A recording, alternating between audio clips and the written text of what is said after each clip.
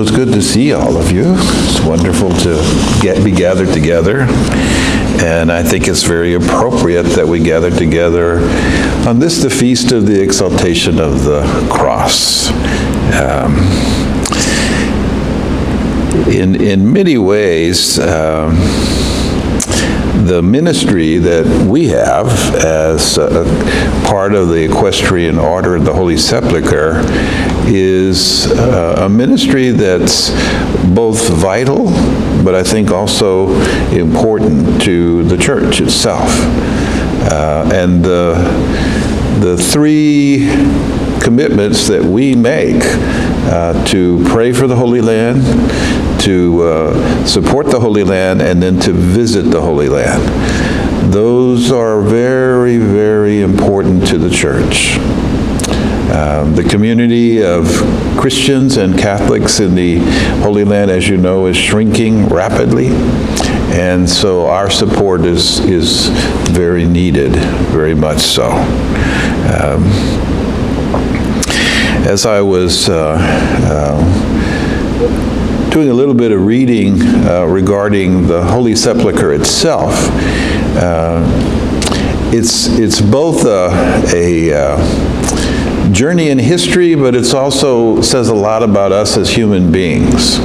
Um, it really wasn't until the fourth century that Constantine allowed a church, or actually wanted a church, to be built over the Holy Sepulchre. And it was actually a church in the round, which is unusual architecture for the day. Um, and then three centuries later, it was destroyed by the Persians.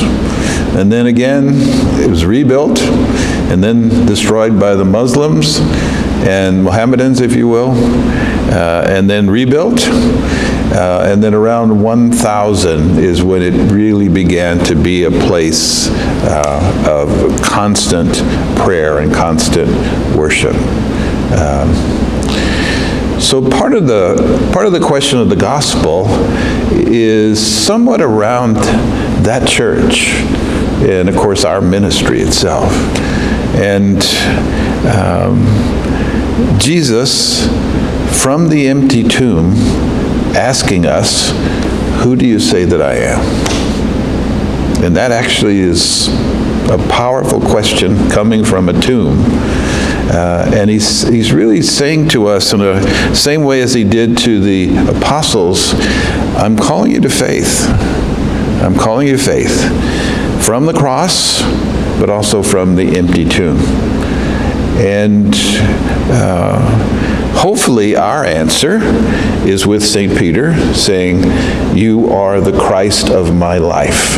You are the anointed of my life. You are the anointed of my marriage for those of us that are married. Um, but he doesn't stop there. He goes on to actually describe what's going to happen to him. Uh, and that's actually where it draws us into faith in a big way, but it also draws us uh, into the gospel itself.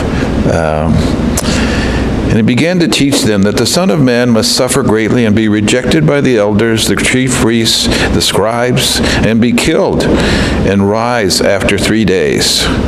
And he spoke this openly, the gospel says.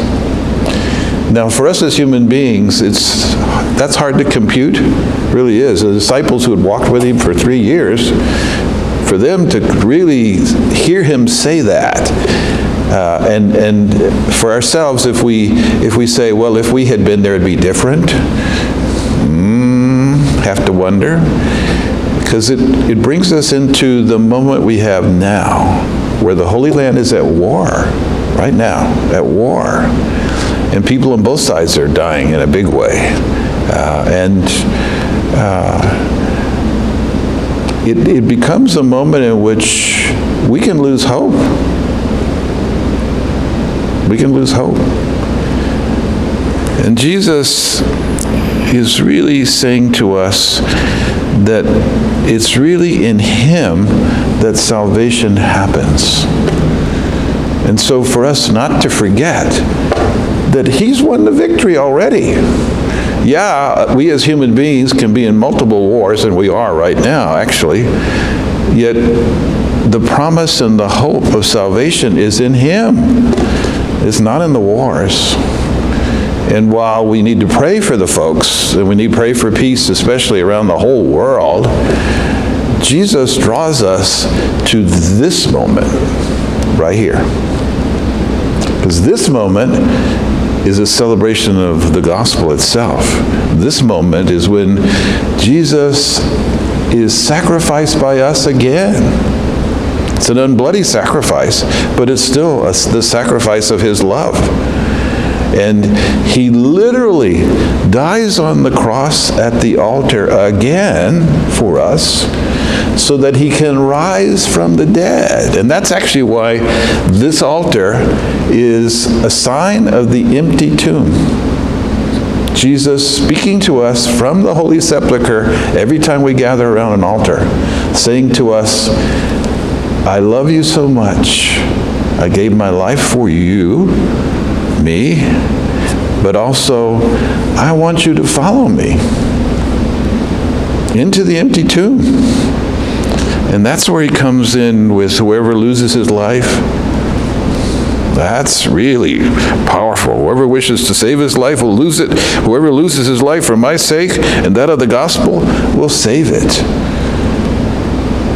Giving our lives to him every day giving our lives to Him in our, for those of us that are married, in our marriages, uh, for those of us that are single, with Him directly, directly. So it puts a whole different light, actually, on the consecration. Because Jesus, the Jesus who talked to the disciples in this gospel, is here for us the Jesus who brought salvation to the whole world, who won the victory, is here for us. And so as we approach the altar to receive his body and blood, he becomes one with us in love. He becomes one with us.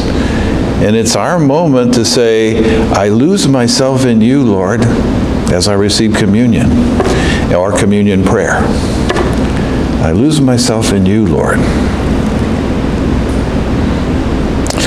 So we offer this Mass in a special way for, uh, uh, partly for each of us, but also in a special way for the folks of the Holy Land right now who are suffering big time. And then any wars that are happening around the, the world. Uh, but we offered also that that uh, whoever wishes to save his life will lose it. Whoever loses his life for my sake and that of the gospel will save it. Mm. That's who he calls us to be. Let's pray for that grace.